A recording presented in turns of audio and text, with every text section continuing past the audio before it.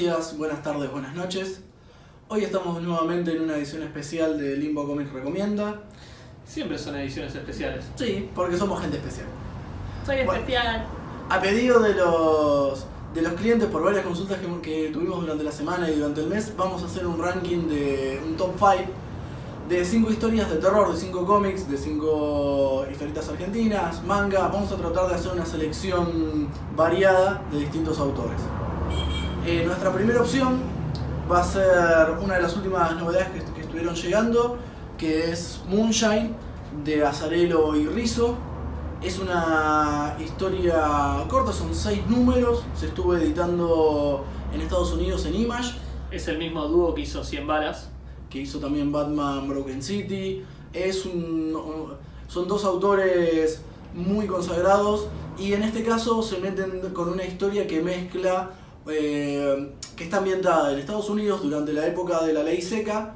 eh, eh, de ahí el nombre, el Moonshine era el nombre de, los licores que fabricaban de forma casera y, de forma furtiva en- las montañas. Y a la vez juega con la idea de que la familia que está fabricando esto son, es una familia de hombres lobos. Entonces Moonshine también juega con el nombre de la luz de luna y que pasa en las montañas con- con- cuando esta gente se- de repente se le viene encima a los federales o la mafia tratando de extorsionarlos. Es una historia muy buena, está muy bien escrita, está dibujada por los dioses, por, por Rizzo, que es un dibujante argentino que ya está consagrado desde hace años en Estados Unidos, muy buen dibujante. Y es, es muy recomendable porque es una edición bastante nueva y que llegó, se llegó a editar acá en un tomo compilado, en tapa blanda, más que, más que recomendable. Después, siguiendo con, con la línea de, de autores argentinos, tenemos eh, de Lovecraft y, y Brecha, Los mitos de Tulu. Eh, es un eh, guionista, un, autor muy clásico norteamericano.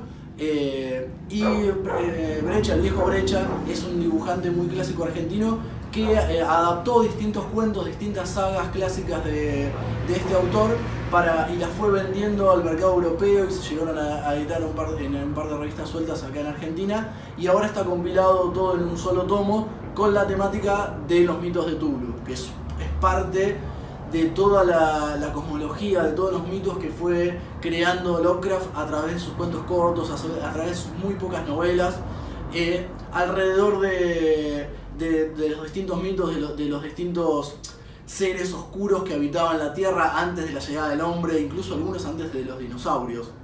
Tenía todo eh, lo que coincide con muchos de, lo- de los cuentos de Lovecraft, por- eso está bueno que las ilustraciones de, de Brecha, es que nunca terminás de saber muy bien qué es lo que estás acechando ahí en la oscuridad, qué, qué es lo que repta, qué es lo que te mira desde el abismo.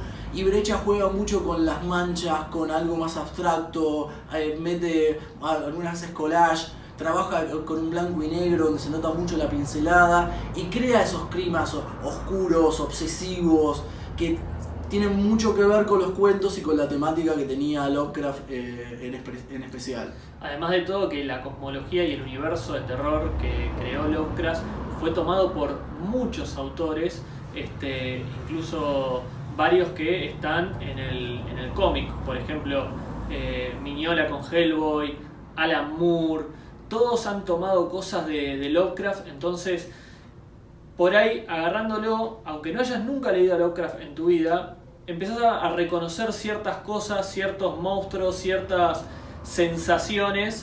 Bueno, nuestra tercera recomendación, en este caso también es una adaptación de cuentos clásicos, en este caso de Poe, y el dibujante es Richard Corben.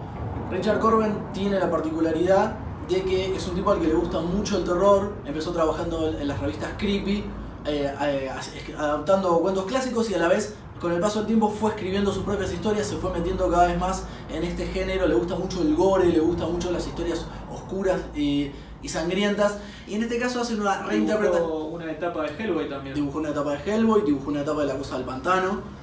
Y en este caso agarra eh, las historias clásicas de Poe, que es un autor que llegó a influenciar incluso a Lovecraft, el, el autor anterior que teníamos, habíamos nombrado, y reescribe varias sagas clásicas, varios cuentos cortos de Poe en su versión. La diferencia que hace en este caso Corden es que le mete un poco más de sangre, le mete un poco más de gore, las hace un poco, un poquitín más modernas, no necesariamente actuales, pero dentro de su estilo, dentro de su, como decía, dentro de su propio universo, reinventa algunas historias clásicas de, Poe y le mete mucho de lo macabro que a él le gusta, las estira un poquito más y la lleva un poquito más al límite. Es un muy buen compilado, está en tapa dura, es un tomo único eh, y es una muy linda edición, por eso lo queríamos recomendar. Está muy bueno además porque Poe es el origen del género de terror dentro de la literatura clásica, o sea, fue el primero este, y tiene una longevidad eh, su obra que va más allá, si bien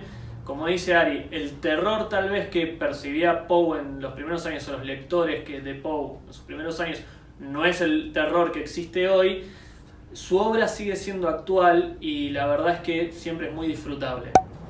Tenemos también por el lado del manga, tenemos acá un tomo único, muy gordo, que se llama Uzumaki. El autor es Junji Ito, un autor clásico de terror le gusta mucho el, género de terror, le gusta mucho el gore. Esta es una historia para que lo vean, así lo pongo de costado, para que vean lo gordo que es este, este tomo, tomo único, con sobrecubierta que editó Ibrea.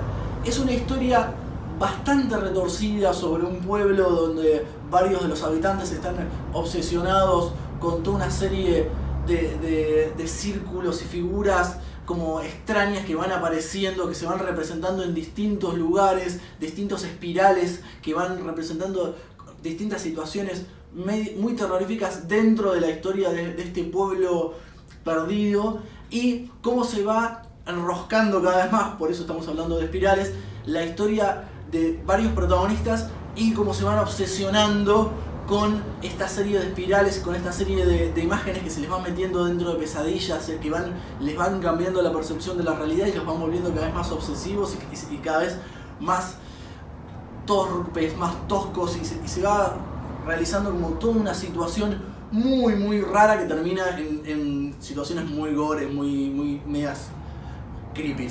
Eh, que es un poco la especialidad del autor. Es una de las pocas cosas que hay eh, editadas acá en Argentina, justamente de este autor. Eh, está saliendo muy bien, eh, lo queríamos recomendar porque me parece que siendo un tomo único y siendo un tomo de, esa, de ese tamaño, es una buena opción para, tener en la, en la, biblioteca. Además está muy buena la contraposición entre lo que es el terror oriental y el terror occidental, porque eh, ambas culturas no ven al terror de la misma manera. Entonces está bueno. El terror, este, el terror oriental, el terror japonés, chino, tiene su cierta diferencia, tiene su propio sello. Y está bueno, para el que está acostumbrado siempre a leer lo mismo, este, está bueno agarrar algo de otro lado y ver que también se puede innovar o se puede ir por otro lado en la temática. Claro. Y después tenemos como última recomendación tenemos un clásico que estuvo que está siempre dando vuelta en nuestra batea de ofertas porque ya se editó hace un par de años y sigue manteniendo un precio bastante razonable, es 30 días de noche. Este es un cómic que la pegó mucho en su momento cuando salió, tiene una adaptación en cine eh, y tiene parte de una premisa muy piola, eh, que es, eh, una, es un ataque de, de vampiros a un pueblo en el Polo Norte que justamente eh, como el, nombre lo dice, el, invierno, las noches allá eh, se vuelven muy largas, es un clima ideal para vampiros, un lugar aislado donde pueden eh, despertar todos sus instintos macabros y atacar a la gente y aislarlos sin que nadie se entere. Es una historia de Steve Niles y está dibujada por Ben Temple Smith, tiene un estilo de dibujo bastante experimental. La historia, este es el primer arco, es una saga clásica, eh, tiene varias secuelas, acá solo se editó la primera parte, pero se puede leer, se puede disfrutar, la premisa es muy buena. La adaptación en cine, como siempre, se queda media corta. Cliché. pero bueno, eh, es una buena opción porque está a muy buen precio, es un tomo único. Y eh, es un autor que hoy por hoy la, pegó mucho dentro del género de terror, dentro de la, de las novelas gráficas en varias editoriales y es una buena, es una buena recomendación para tener en cuenta De todo lo que lo recomendamos, esta es la, es la- es la opción oferta recomendada. Sí, siempre cuidando su bolsillo. Así que nada, cinco títulos, cinco autores distintos, cinco estilos distintos. Y Desde lo clásico a por ahí lo más experimental.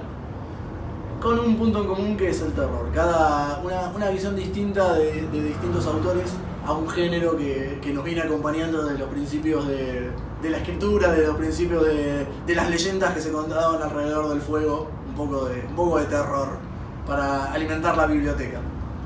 Así que nada, muchachos, otra vez estamos aquí nosotros. Les recomendamos que nos sigan, que compartan este video. Seguimos con la, con la promoción que si llegamos a los 100 suscriptores vamos a estar sorteando los cómics firmados por, por Mark White y por Salvador Sanz.